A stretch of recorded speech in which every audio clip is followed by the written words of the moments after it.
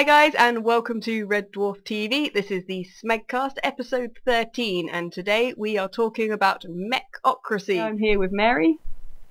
Good evening. Hello. Hello. In this episode, all the mechanical items of the ship, including the food dispensers and scutters, decide that they want representation and a human that they can liaise with after everyone tries to leave them behind when they abandon ship. The two people up are Rimmer and Kryten, and who will the mechanoids vote for? Uh, this was quite a, a good one. I think this was uh, at the time my favourite one when it when it came out. Uh, what did you reckon? I am very much of on the other side. Oh. Uh, I um, this is my least favourite episode. Wow, I don't think that's a, a common opinion. What was it that that didn't quite collect for you? I yeah, I'm having watched it and watched it again and still not liking it. I went online and, and quickly realised that I was in the minority. Um, just it, it just didn't click for me. Uh, maybe I'm missing point, and I'm happy to uh, be told that. I, it's not often that I'm that I'm the kind of person that, likes to be told that I'm wrong, but I'm happy to be told that in this instance because one is Red Dwarf, and two because I really do seem to be in the minority. I just felt that it was a bit weak, and um, I thought it was a weak episode and a bit cheesy. There's there's a few moments in there that I just found a bit a bit cheesy. Just work for me. I probably, you know, I, I will go back and rewatch the new series, but that one I'm probably I might watch it again. I might watch it a third time just to see, but um, I, I have no inclination to watch it again anytime soon. Yeah, that's. I wasn't expecting that. You you've just completely blindsided me there. I thought this is just the two of us We'll just have a nice little banter, but we're completely on opposite ends because I think it's my second favourite episode of the series. And I think, I mean, there was obviously the the massive element of Talkie Toaster. Yeah. I think that um, it would have to be a very very bad episode for me not to love it just for the fact it's got Talkie Toaster in it and it's David Ross who is the second Talkie Toaster, who was also the first Kryten. So having him back on the show is massively nostalgic, and you know he's he's one of my favourite kitchen appliances. and I I think that that for a lot of people alone would have would have raised the episode up in in their esteem regardless. But I mean, e- even aside from that, I really I really enjoyed it. Um, I liked the complete ridiculousness of Rimmer trying to go against Kryten, despite Kryten pointing out constantly he's the only sensible choice for the role. Um, and I, I liked the the, um, the posters they used when they were going for election were all based on things like Stalin and, and people like that. They were mimicking real life uh, propaganda posters and films and things, which which I found very enjoyable. That was something that I, you know, there was elements of the kind of two campaigns that I enjoyed. I, I quite liked the little videos they did. They were trying to like scupper each other. Um, uh, they, that I enjoyed. Um, and coming back briefly to Talkie Toaster, I did enjoy uh, the uh, reappearance of uh, that appliance. Um, it was good to hear David Ross back again, albeit very briefly. And also I did like the closing moments where um, was it Cats that had locked, locked Rimmer in the, in the room with Talkie Toaster and he just yells in complete despair. Yeah. That did crack me up. Um, but those were really the only kind of few moments in the episode that kind of raised a smile for me. Um, I, I, I almost feel like um, I need someone to sit sit down with me and kind of talk me through it and tell me why I should like it. I feel bad for not liking it. Um, but Well, it's good hear a different an opinion. It's uh, yeah, I I thought the you know the the previous episode was the one that was being very very divisive with the the criticism and and so on and so forth. That one seemed to be the one that's caused all all the the, the conversations online, which were very very divided. So it is interesting to hear a different opinion on this one that's been pretty much universally accepted as as uh, everyone's, you know, so a lot of people's favourites looking at Twitter. Yeah, it, it I enjoyed the the banter between them, and I kind of enjoyed the inevitability of it all because Rimmer is obviously the more underhanded of the two, and they end up having to do dirty dealings either way in the smear campaigns. I like the way they involved information that went way back to series one and they had the first ever Kryten voice in that episode and then they were harking back to the first ever Kryten's actions where he was serving skeletons that he hadn't realised had passed away and using that as a way to say he was incompetent at his job and things like that. It did have a, a lot of those nostalgia elements and things that were funny I thought on their own but were funnier if you were a fan of the series which made it because I think sometimes the episodes are so nostalgic now they can be a little bit impenetrable, whereas this one I felt was quite easy to understand from having no knowledge at all. Um, I wonder if that was one of the things that made it less funny for you, was that it it didn't. Um, I don't know. I can't work this out. You've you've started a mystery now. This is going to be the most confusing episode of this show so far. Well, I've spoken so two friends I made at this year's Dimension Jump convention back in April, I've spoken to them online each week, you know, how to find the latest episode. Um, and they both enjoyed it, and I had to press them and say, sorry guys, I'm just really not that keen on it. Um, um, thinking about that, don't get me wrong, as I've said, there are elements that I enjoyed. I enjoyed the, the Coast Talkie Toaster. I enjoyed um, the, the kind of campaign element, like the kind of the videos that they were doing to show around the ship, you know, to get the machines on their side, or, or their side, so to speak. Um, and the other bit that I'm thinking about that I did quite like is just Rimmer being Rimmer, just being devious, and basically taking that long knowledge at the start where you know, it comes about the cat, uh, might be helped actually by wearing glasses and uh, kind of using that to his advantage because then obviously he uses that to blackmail him to become his kind of, wants to help be on his campaign because he knows he, Cat's vanity couldn't bear the fact that viewers might find out that he, he might end up coming to homelessness. So yeah, I was quite surprised no one figured out that Cat was being blackmailed. I think that was the only bit for me which was a little bit, they all kind of were just a bit mystified Cat was helping him and I think they should have guessed that he had something on Cat surely Lister would have been like, right, what's what's he what's he done to get this power over him? You're right. I can just imagine if this was like a. I'm sure maybe something like this has happened in earlier episodes, like from the earlier series, where Lister's suddenly gone, hang on a minute, he started to kind of talk it through and work something out. Mm. Uh, and that's probably, yeah, he's done that in the past, so yeah, you're right, that he didn't figure it out. Yeah, because he figured it out when, um, which uh, it might have been series one or two when Cat has these like these are my shiny things and I'm keeping these shiny things and it's all the packets of cigarettes and uh, Rimmer's trying to manipulate him but then Lister manages to get all the cigarettes off Cat anyway. Um, I think he even does that off screen. It's so kind of unimportant that he, he just manages to kind of get the information out of him.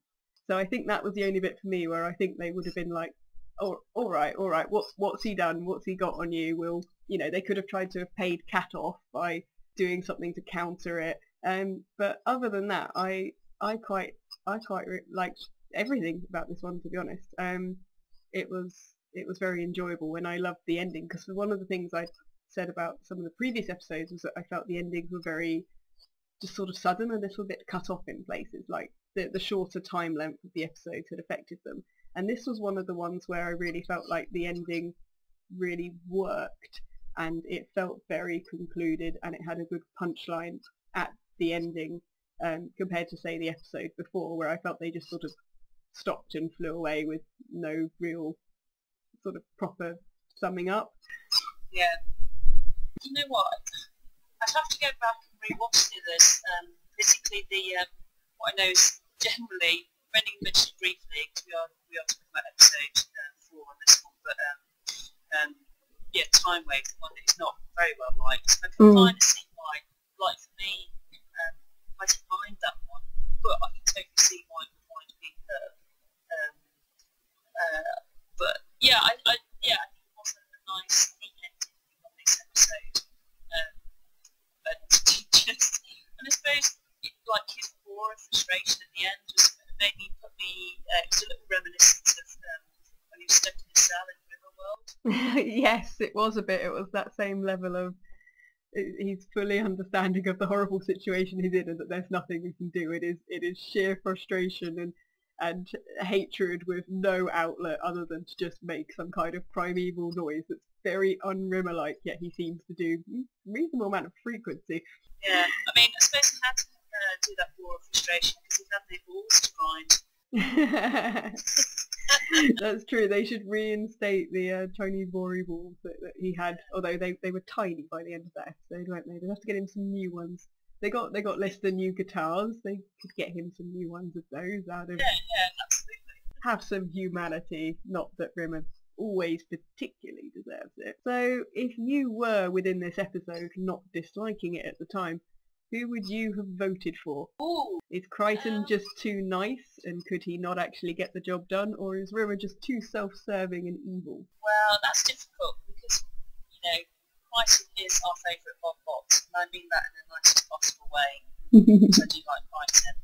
However, Rimmer can get a campaign going. We saw that in, oh no, my fangirlness is failing me, the episode from the early series where he puts the wax droids to, to um, oh yes, uh, the Wax World one. I know the one you mean. Yeah, he manages to, to yeah take charge of everything. Yeah, he did manage to get a campaign going, but he also managed to completely destroy them all. I forgot the episode. Yes, well, we both know the episode. uh, so we know that he can take take a campaign on and run it. And you know, in that episode, it was it was him that were, were down on that world first, and, and you know he stepped up. So perhaps you know, perhaps I would have voted for Rimmer because he has previous history. Um, well, of attempting attempting to manage something. Yeah. Oh, I think that's probably going to be a, a controversial answer as well. This is this is an interesting one. We get some debate going in the comments section for this one. If anyone would like to vehemently disagree with this particular ruling, please politely know. disagree. Disagree because think about it. That campaign, the wax droids was terrible. He killed them all. So who's to say that he was going to do any better by the vending machines? yeah. You know what he's like in an escape pod, just saving himself. So But that's how the whole episode started. Was he was the one about to abandon all of them anyway. They have very short memories, these vending machines, I do say. But yeah, I think you were choosing between two flavours of incompetence. It's like the worst ice cream parlour in the world. It's like, would you like this fried dead rat or would you like this different roadkill? Um, it's just, it wasn't going to go well either way, I think. Um, they probably needed some kind of coalition going.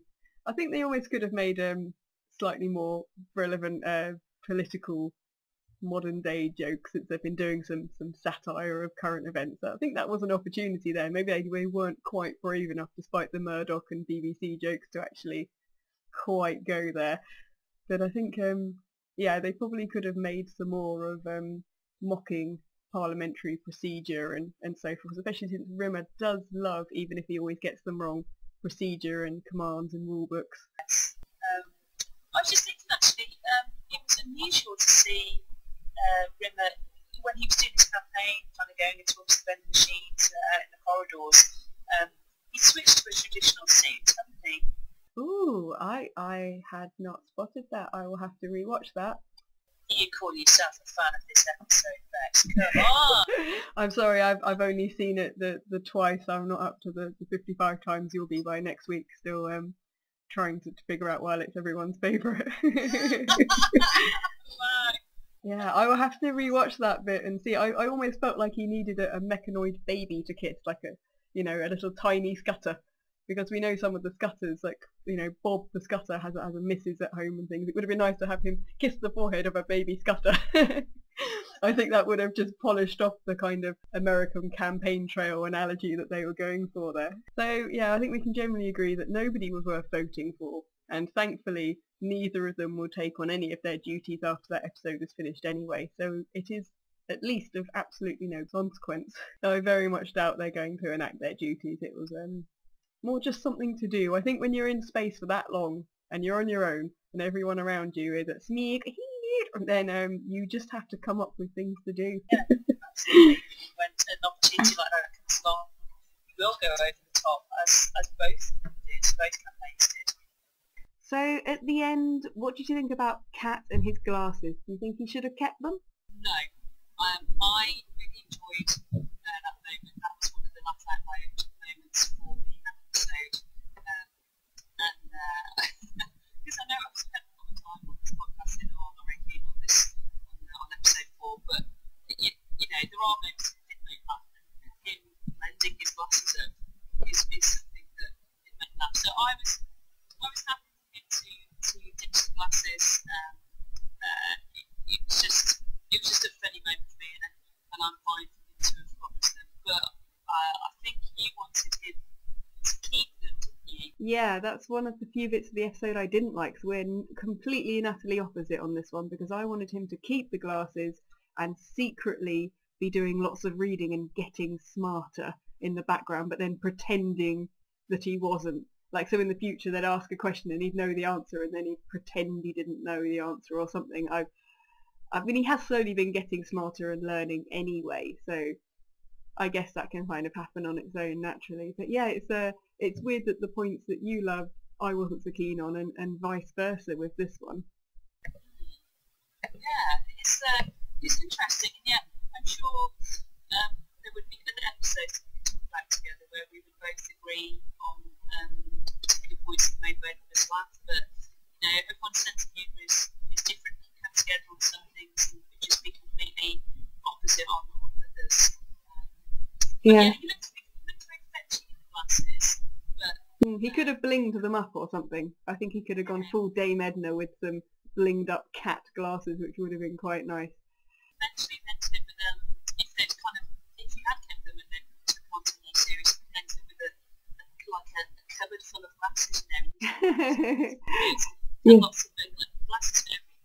Integrated them into the cat's wardrobe. So this next bit, I'm I'm scared to ask. Out of five, Mary. Lay it on me. Um, I think it's got to be two. Ooh, and I'm probably up the other end at like at least 4.5, so that should even out nicely awesome. well, you know, people are, aren't going to agree all the time, and uh, I feel weird actually giving it a two, giving it a Well, yes, 'cause you're wrong. as long as we both agree you're wrong, we're on the same page, my friend. well, I'm sorry to hear that it wasn't your favourite episode, but something is someone's favourite is someone else's worst episode. I think that is always the way with these things, and we had the same with, with Timewave. People have had it as their favourite episode or their most hated episode, and I think that that's, you know, they do so many different types of, of humour within within Red Dwarf. It's always going to be someone's favourite and someone's least. So yeah, interesting, interesting. Mm, but the um the next episode is generally held by everyone to be particularly good, although we shall not go into that one today. They'll save that for the next episode. But until then, I think that this is uh, me, Bex Trista, and Mary signing off for the day, and we will say goodbye. Bye. Thank you very much for listening, guys. Please subscribe to Red Dwarf TV to see more of our Red Dwarf videos, exclusive interviews, and updates and news. And we will see you guys next time. Goodbye.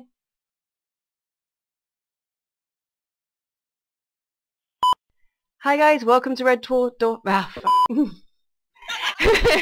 well, that went well. I got half a line in. Woo! Uh, take two.